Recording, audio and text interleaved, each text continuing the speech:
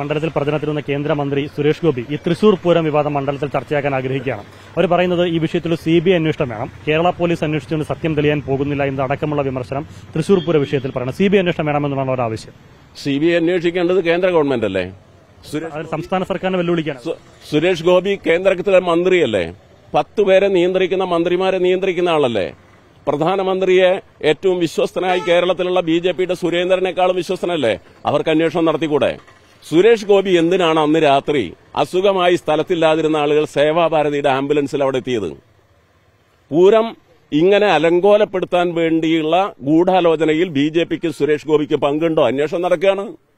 ആ അന്വേഷണത്തിന്റെ മുകളിൽ അന്വേഷണം വേണോ? കേന്ദ്ര ഗവൺമെന്റ് തീരുമാനിക്കാലോ? ഞങ്ങൾ എന്തെങ്കിലും വിളിച്ചു വെക്കുന്നുണ്ടോ? ഞങ്ങൾ പൂരം ഭംഗിയായി നടത്താൻ കേരളത്തിന്റെ മുഖ്യമന്ത്രി ഇടപെട്ട ആളാണ്. കെ രാധാകൃഷ്ണൻ ദേവസ്വത്തിന്റെ മന്ത്രിയാണ്. രാധാകൃഷ്ണൻ ഇടപെട്ടതാ. ഞങ്ങൾ ഏതെങ്കിലും കാര്യം വിളിച്ചു വെച്ചോ? അതിലിപ്പോ അന്വേഷണം നടക്കല്ലേ ഉദ്യോഗസ്ഥന്മാരുണ്ടോ? ഞങ്ങൾ ഉദ്യോഗസ്ഥന്മാരുടെ പേരിൽ പോലീസ് ഉദ്യോഗസ്ഥന്മാരുടെ പേരിൽ നടപടി സ്വീകരിച്ചില്ലേ ഇനി ഗൂഢാലോചനക്ക് വെളിച്ചത്ത് കൊണ്ടുവരണം. അത് വെളിച്ചത്ത് വരും. തെരഞ്ഞെടുപ്പിന്റെ കാര്യത്തിൽ പുകമറ സൃഷ്ടിക്കാൻ നോക്കി വിശ്വാസികളെ പറ്റിക്കാൻ നോക്കണ്ട. വിശ്വാസികൾക്ക് ഈ വസ്തുത മനസ്സിലായിട്ടുണ്ട്. സുരേഷ് ഗോപിയുടെ തനിനിറവ് മനസ്സിലായിട്ടുണ്ട്.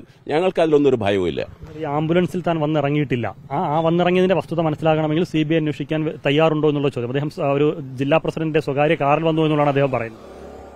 നിങ്ങൾക്ക് എന്താണ് തോന്നുന്നത്?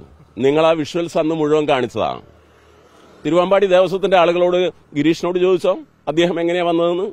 ആംബുലൻസിന്റെ വിഷ്വൽസിൽ സേവാഭാരതിയുടെ ആംബുലൻസിൽ ഇദ്ദേഹം വന്നിറങ്ങുന്നത് വിഷ്വൽസ് ധാരാളമാണ് പകൽ പോലെ യാഥാർത്ഥ്യമായ ഒരു വസ്തുത കണ്ണടച്ചിരുട്ടാക്കി നുണ പറയാൻ സുരേഷ് ഗോപിയെ പോലുള്ള ഒരു ജനപ്രതിനിധി ചെയ്യുന്നത് ഒരു കേന്ദ്രമന്ത്രി ചെയ്യുന്നത് മാന്യതയാണോ എന്ന് അദ്ദേഹം കാണണം.